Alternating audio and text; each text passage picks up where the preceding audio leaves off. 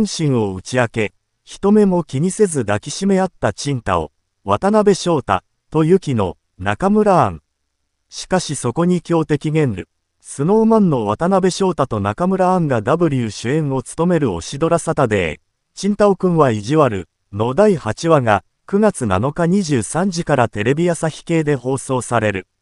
第7話では、年下彼氏、青島、渡辺の結婚とか全然考えてないという爆弾発言に想像以上のダメージを受けたユキの中村。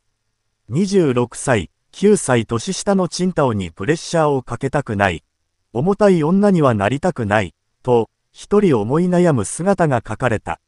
そしてついに、悪気もなく爆弾発言をしたチンタオに周りに心配されないように不安を一個ずつ潰して、5年後、10年後の準備をしている。そういう年なのと訴えた35歳のユキノの言葉に、仕事に励みながら不安とも戦いながら、静かに将来を見据えようと奮闘している女性陣から、35歳のリアルな感情を吐き出すユキノにちょっと涙したわ。ユキノの気持ちわかるわ。など、共感の声が続出した。ボロボロになりながら素直な気持ちを吐き出したユキノを優しく受け止め、やっとユキノさんを捕まえた気がしますと抱きしめたチンタオの姿に、視聴者は歓喜。サブタイトルハッシュタグ涙のビッグハグにふさわしく、人目も気にせず抱き合うチンタオとユキノの姿に、もう誰も、何も、青島くんとユキノさんの邪魔をしないでくれ。チンタオくんの本気度がユキノさんに伝わったし、ユキノさんもチンタオくんに本音が言えてよかったなど、喜びの声が溢れた。しかし、そんな幸せもつかの間、チンタオとユキノにとって不都合すぎるタイミングで登場したのが、チンタオのみの母、坂本組、木村多江。実業家として名高い組が、チンタオの母だと知り、ユキノは一気に緊張する。そして、組は何も語らず二人をじっとり見つめる、という何やら波乱の予感がひしひし漂うラストとなった。恋が進展したと思ったら母が出てくる。名付けて、シャープオカンブロックには、実のお母さん手強そうですな。ラスボス降臨。来週は試練だな。マジでおかん今じゃない。など、二人の前に立ちはだかることになった、おかん、組の登場とその存在感に SNS は騒然。まだまだ前途多難な二人の恋を心配する人が続出した。シャープオカンブロックのその後、立ちはだかる家族の壁。別れを迫られ、大ピンチ。第8話で描かれるのは、ハッシュタグオカンブロックのその後。青島から組のことを、僕を産んだ人ですと紹介されたユキノだが、チンタオくんのことまだ何も知らなかったんだな、と実感し、昼休みに会社の屋上でチンタオと話をする。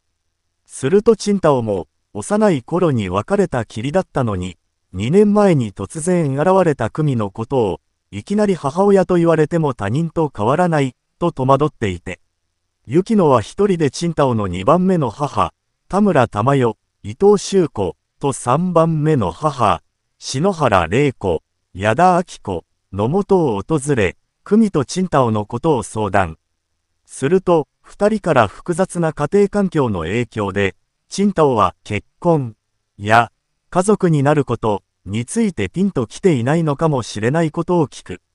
しかもそんな雪乃の家に突然久美がやってきて、水木と別れてほしいの、と言い始める。ここに来て立ちはだかる家族の壁。またもやユキノに大きな問題が襲いかかる。そんな中、チンタオはユキノをデートに誘うが、ユキノが待ち合わせ場所に着くと、なぜか浮かない表情をしたチンタオが、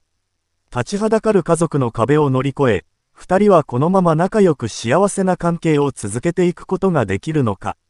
第8話あらすじ飲料メーカーキャットビバレッジの総務部員、桂木由紀の中村は、9歳下の恋人、青島瑞希、渡辺の結婚とか全然考えてないという言葉に想像以上のダメージを受けていた。